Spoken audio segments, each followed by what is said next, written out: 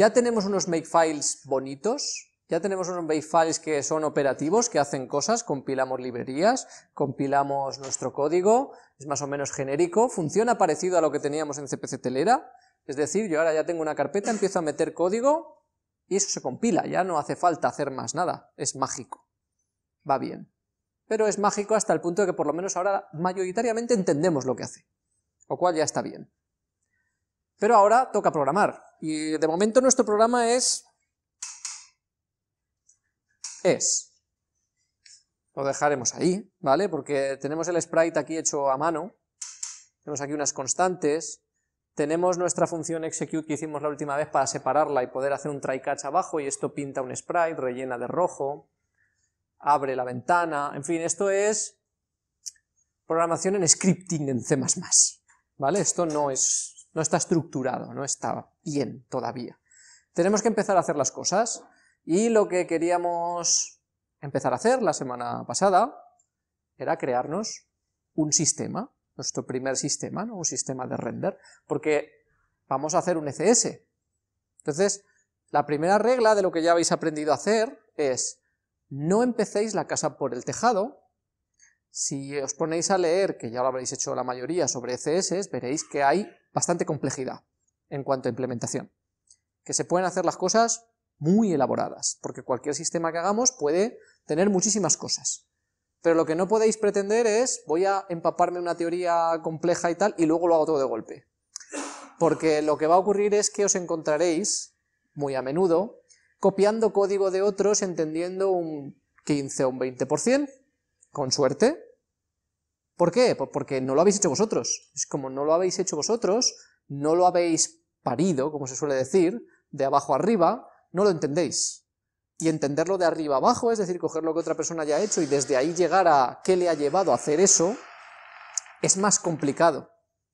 Es por eso la recomendación es la contraria, y es lo que yo voy a seguir más o menos aquí en clase, que lo que consiste es, vamos a hacer cosas sencillas y las vamos complicando paso a paso, parecido a lo que hicimos en Amstrad. ¿Qué hacemos? Pues primero hemos pintado un sprite, muy básico, lo hemos hecho a mano. Bueno, pues vamos a hacer un sistema básico, no vamos a hacer cosas complejas, vamos a aprovechar para que conforme hacemos las cosas, vamos hablando de C++ y de por qué hacemos las cosas de una manera o de otra, poco a poco, y iremos complicando. Esto es algo que deberíais hacer también vosotros en vuestros códigos. Es decir, Primero hago una funcionalidad sencilla, lo que sea, estoy pintando un sprite, pinto un sprite. Ya tengo un sprite que se pinta, ¿qué quiero hacer con esto? Que lo haga un sistema. Me voy a crear un sistema básico, que pinta sprites. Ya está. Abre la ventana, pinta sprites. Luego después necesitaré que mi sistema, además de pintar sprites, pinte otras cosas, que luego maneje entidades o, o maneje componentes. Todo esto hay que ir construyéndolo. Y tenemos que ir probando las cosas una a una para entenderlas, entender el proceso y entonces saber por qué vamos a dónde vamos. Si no, podemos hacer, yo me puedo llegar aquí con la teoría sobre CSS, me puedo llegar y coger cualquiera de los libros de Game Engine que tenéis aquí, que son unos que acabo de coger de la biblioteca, o cualquier otro, estos son los Game Engine Games, cualquier otro, cogemos, ah, así, ras, aquí tenéis la estructura. Nadie entiende eso. Quiero decir, lo entiende el que lo ha hecho porque lo ha hecho él y los demás que quieran entenderlo tienen que echarle un saco de horas para entenderlo o tienen que haber hecho cosas parecidas para que cuando vean lo que él ha hecho lo entiendan por similitud. Pues si yo ya me he implementado 15 CS, cuando veo el CS de otra persona, ya lo encajo perfectamente en lo que yo he hecho y en mi experiencia. Pero si yo nunca he hecho un ECS, no puedo coger el código de alguien que tiene experiencia y entenderlo. No es normal. Entonces lo normal es esto, paso a paso, coger las cosas una a una. Y hacer las funcionalidades crecer una a una. Os va a tocar tirar código. Asumidlo. O sea, necesitáis dar esos pasos, pero es más rápido, es más rápido hacer pasos poco a poco, entender lo que se hace y tirar el código y empezar otra vez, que intentar empezar desde arriba, no hacerlo bien, y que luego se convierta en una maraña difícil de manejar.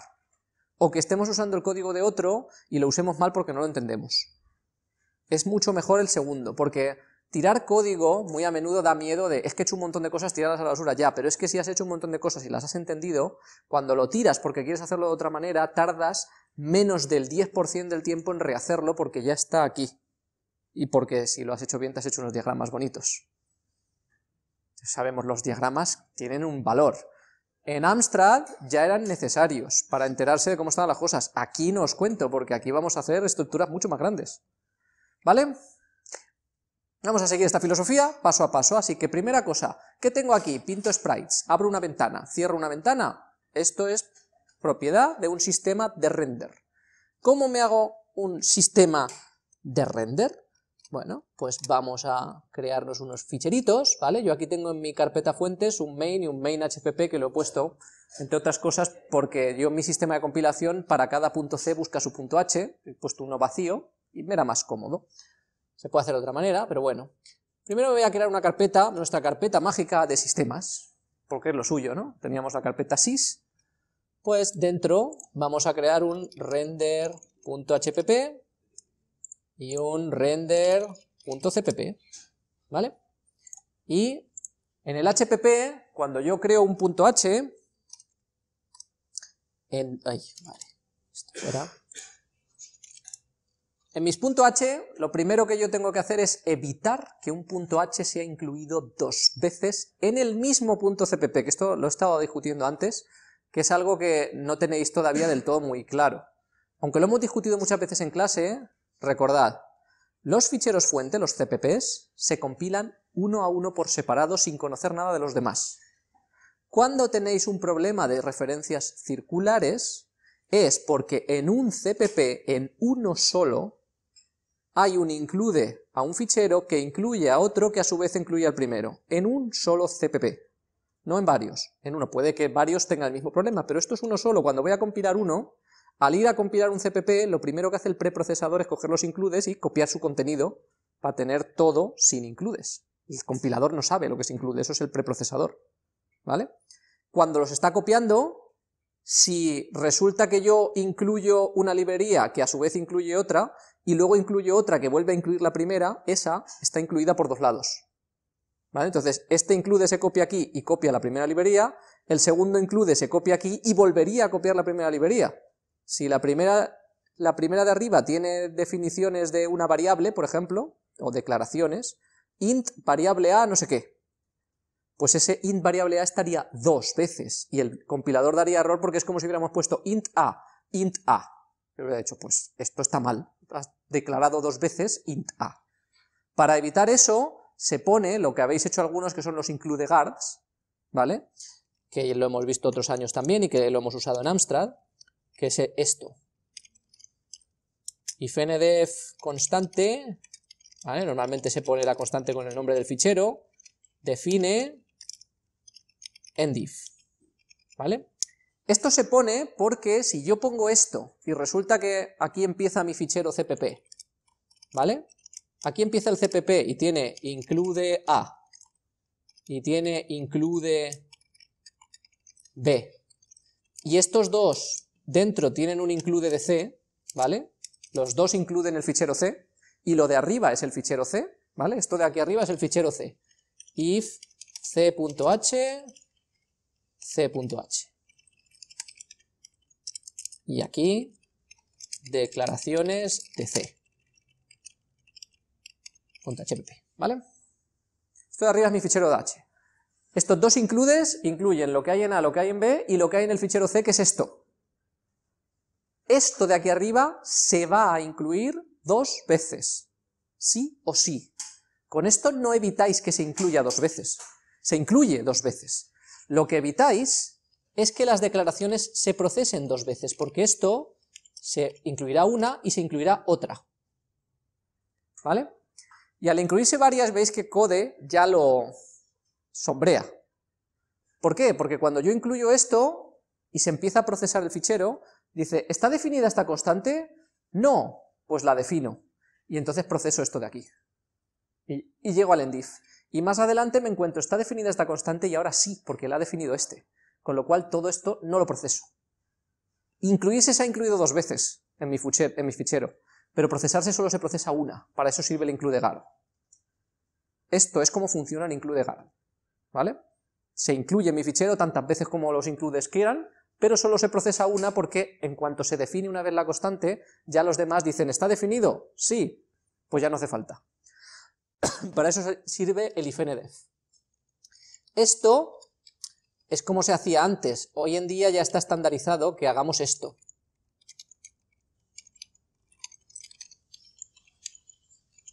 ¿Vale? Con poner eso ya le sirve, o sea, ya él, aunque lo incluyamos dos veces, cuando lo vea la segunda vez lo quita. Hace lo mismo que el includegar, ¿vale? Sin más, no hace falta que pongamos el includegar. Vale, ¿todo esto lo sabíais? Dime. Este, este, problema lo habéis tenido todos, en general. Desde el primer día, sí, normal. Ya hablaremos de más cosas, sobre todo como el abuso de los includes, que eso ahora veremos cómo se resuelve, ¿vale? En todo caso, en vuestro fichero de cabecera, pragma once, para que cuando sean incluidos dos veces en algún sitio, solo sean procesados una, ¿vale? No os hace falta los includegar. Los includegar es bueno que lo conozcáis, porque si vais a entornos como CPC Telera o como vais a otro en el que vais a programar en C plano de hace tiempo, os pueden hacer falta porque el compilador no soporte el Pragma Once, que es más reciente. Pero si lo soporta, Pragma Once. Bueno, vamos a hacer un sistema. Pues si vamos a hacer un sistema, lo normal es, en C, C++, nos creamos una clase.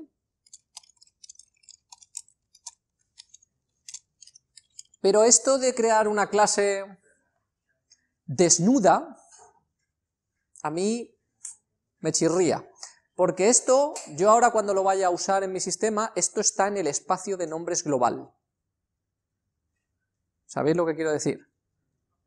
Yo ahora estoy creando un render system t, que será un nuevo tipo en mi sistema, igual que int o igual que float, es render system t, pero está en el espacio de nombre global. Y es un tipo con un nombre que puede haberlo usado más gente, perfectamente. Si yo luego uso una librería y resulta que la librería tiene render system t, va a colisionar con mi nombre. Entonces, para eso se inventaron lo que en C++ se llaman namespaces. Y entonces yo aquí puedo crear un namespace, lo llamo ECS, y todo lo que haga lo meto dentro de mi namespace.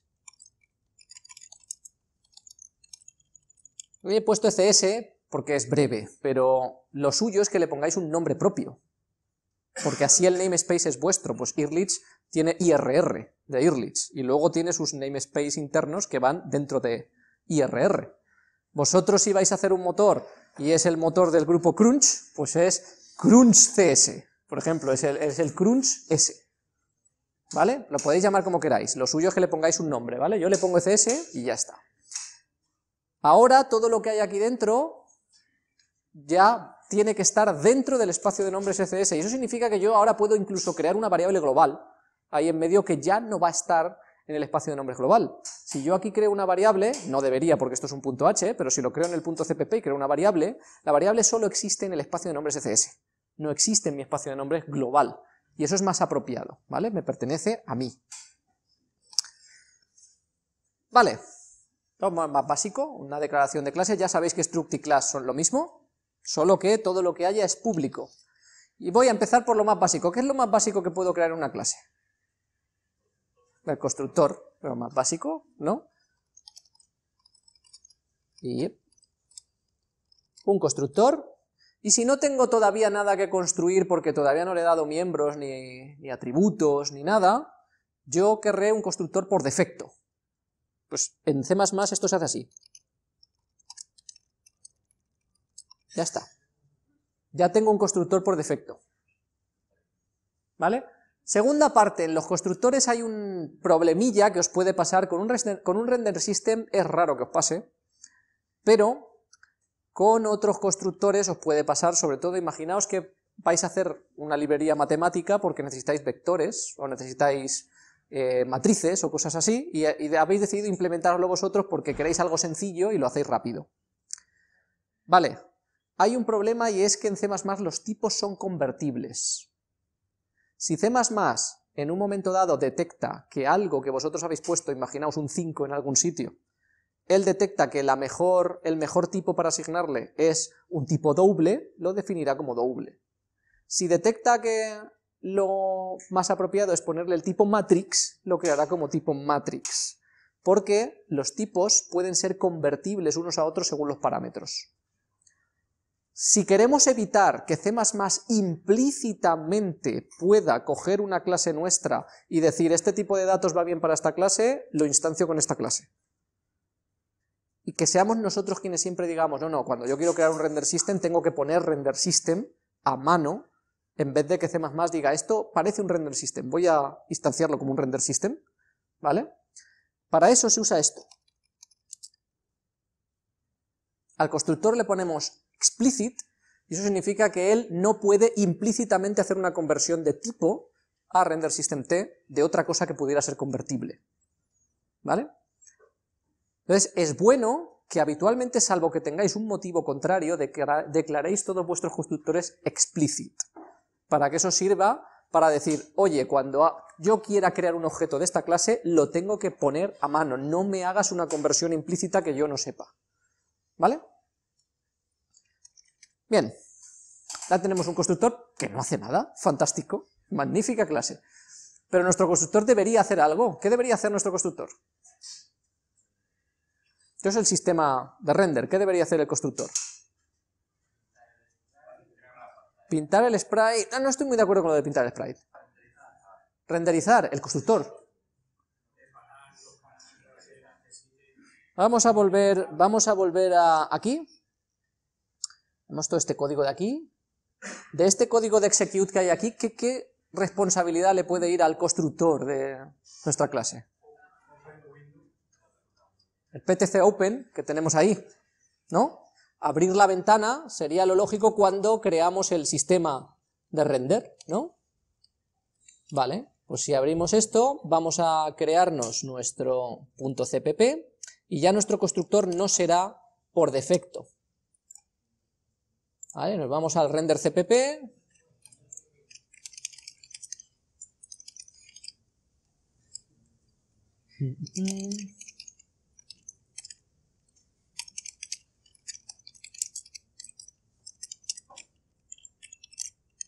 Esto es lo que queríamos poner. Y ahora tendremos que ponerlo dentro del constructor. A ver, esto lo dejar al lado.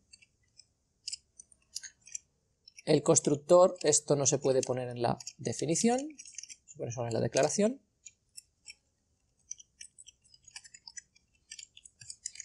¿Vale?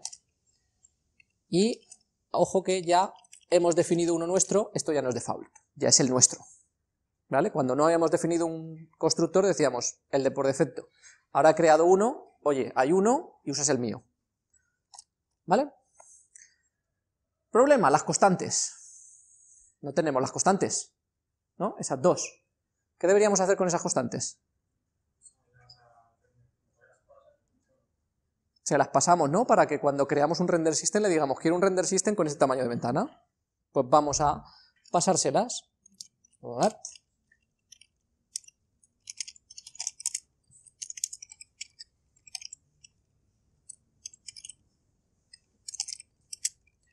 Alto y alto, ¿sí? Bueno, esto de aquí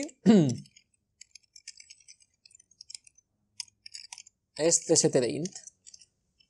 ¿Vale? Lo necesito para poder poner los win32t. ¿Sí?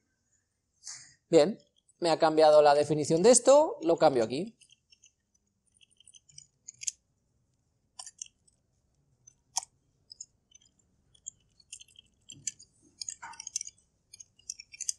¿Vale? Con eso ya tendría para abrir la ventana del tamaño que yo diga, ¿es apropiado que solamente haga esto o debería hacer algo más con esas dos variables que acabo de pasar?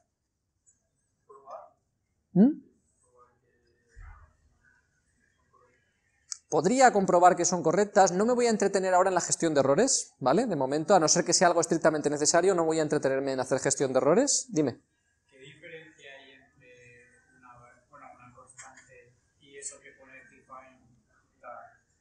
Vale, ahora contesto a tu pregunta. Dime. Guardarlas. ¿Por qué debería guardarlas? ¿Él? Ahora mismo me han pasado un ancho y un alto de ventana, he abierto una ventana de ese tamaño, todavía me da error porque no he hecho el include de, las PTC, ¿vale? Ahora se lo pongo. Eh, Pero claro, yo luego después, cuando pinte sprites, pinte cosas y tal, lo voy a hacer todo teniendo en cuenta el tamaño de mi ventana. Ese tamaño de ventana debo conocerlo, si no me lo guardo, luego no sabré cuál es el tamaño que tiene mi ventana. Así que lo normal es que yo aquí me cree, y de hecho, lo voy a dejar así, en 32T, el tamaño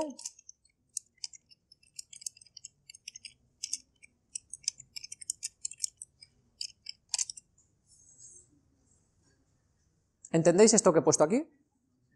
No. ¿Cuántos entendéis esta línea? Creo que yo. Me gusta lo de creo que yo. Vale, voy a probar de nuevo. ¿Cuántos la entendéis ahora? ¿Eh?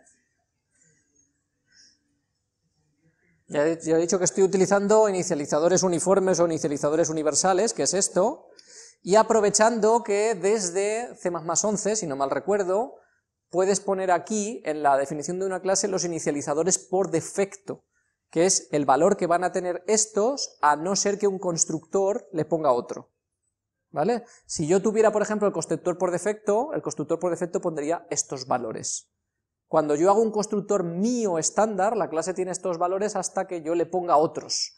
Si un constructor, por ejemplo, dice que le asigna a mw un 5 y no dice nada de mh, mh se quedará con el 0 que tiene aquí, que es el por defecto, ¿vale? ¿Entendéis? Estos son valores por defecto y luego los constructores le pueden poner otro al construir. Vale. Voy a ponerle valor a esto. ¿Cómo lo hago? ¿Así, por ejemplo?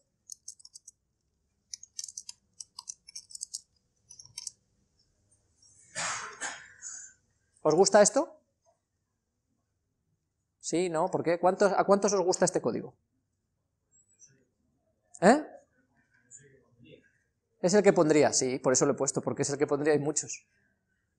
Vale. Vamos a dejar ese código de momento, que en principio, si añado el include de las PTC,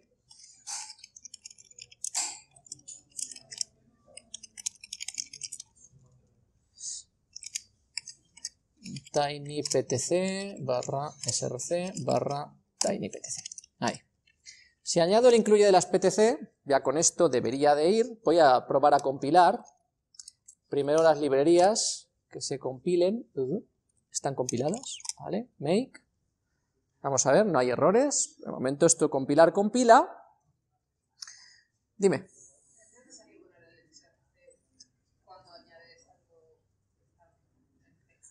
Vale, esto es lo que estuvimos discutiendo la semana pasada, lo del extern C, si yo estoy haciendo un include de una librería que es de C, es mejor que pongamos extern C para asegurarnos de que el compilador sabe que no debe de ponerle mangling a los símbolos que vienen de ahí, que no lo debe de confundir con el espacio de nombres de C++, todo lo que él tiene que hacer.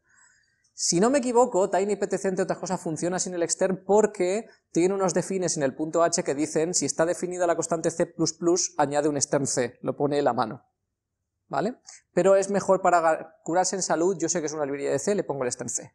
Ya está, ¿vale? Vale, ahora voy a hacer otra pregunta respecto a estas dos variables que tengo aquí. Una vez yo abro una ventana de un tamaño, ¿debería esperar que el tamaño de la ventana cambiase?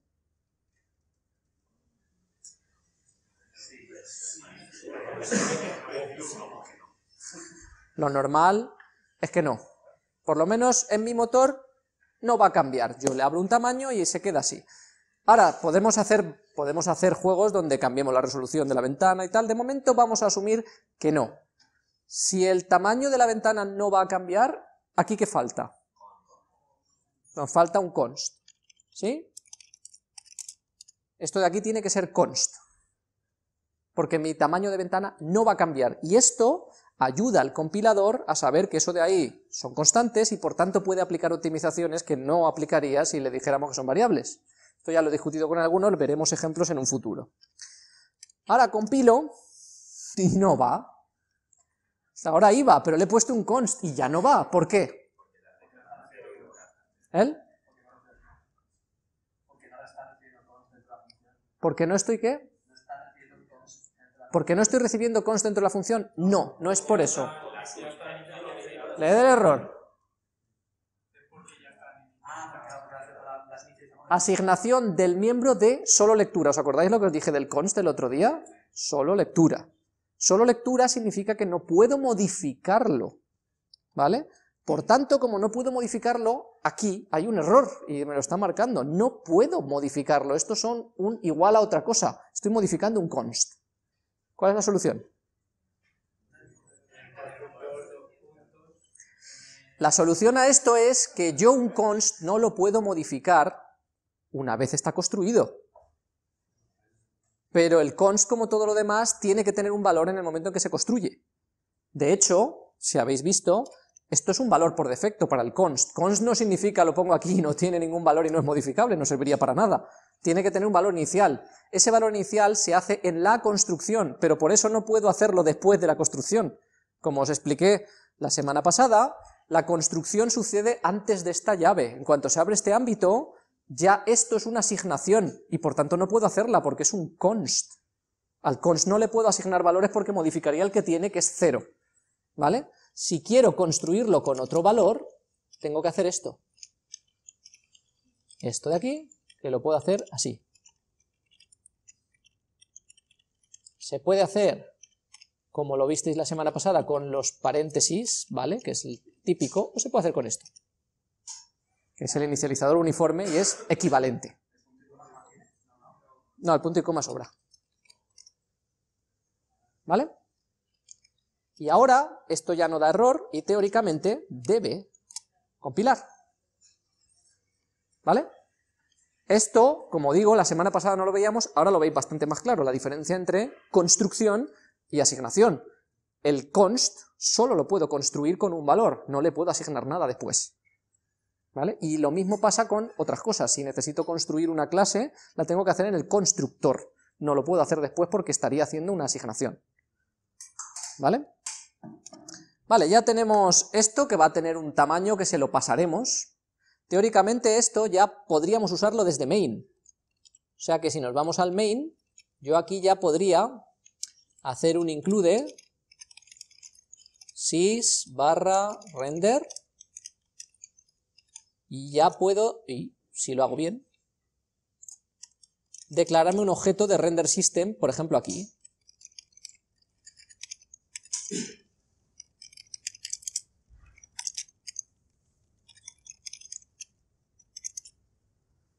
Me da error, ¿por qué?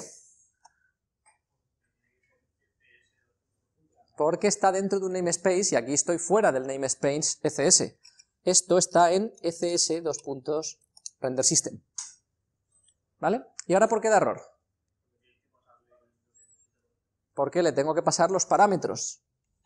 Y aquí puedo usar las constantes que he definido, por ejemplo,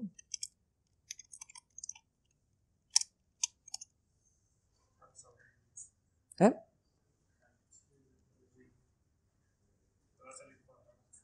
Oh, he pasado dos veces el with. Vale, no me había fijado.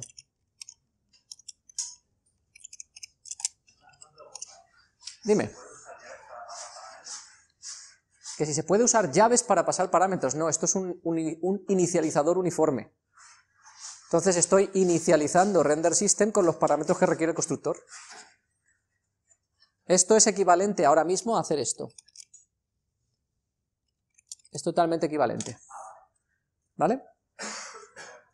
Porque lo otro es, estoy creando un render y le paso una lista de inicializadores de parámetros que van a parar al constructor, básicamente. Y lo estoy haciendo así a propósito porque hay sitios donde viene bien saber esto. ¿Vale?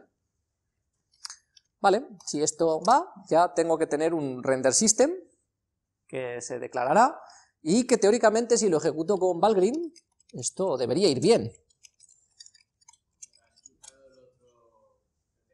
No, lo otro sigue ahí. De momento solo he añadido un render system. ¡Uy!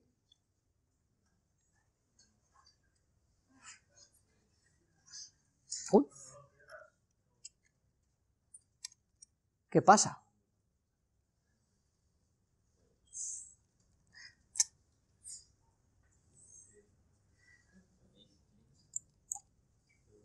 Secretillo. Claro, evidentemente, porque tengo el anterior y tengo el nuevo y además el nuevo no lo cierro. Es decir, estoy creando dos ventanas porque mi render system en su constructor llama a un PTC window open, ¿vale? Y este no llama close. ¿Dónde debo llamar a close? En el destructor, para que evidentemente se destruya.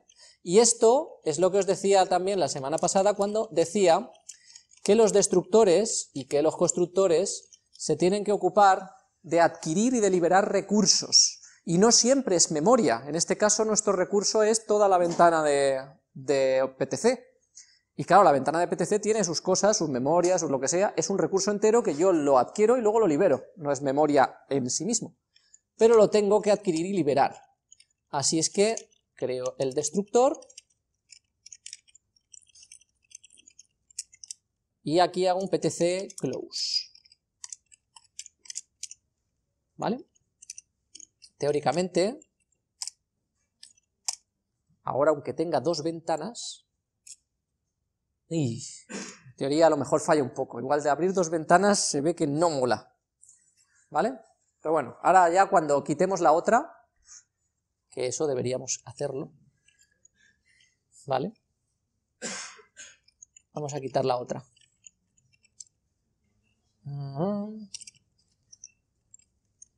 Para esto voy a hacer así.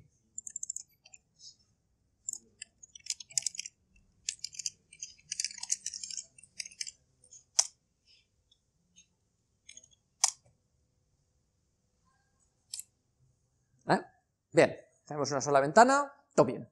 Dos ventanas, mal, ya lo hemos visto. PTC, dos ventanas, mal, hay que apuntárselo, no va bien. No está diseñado para eso tampoco, ¿vale? Es muy simple.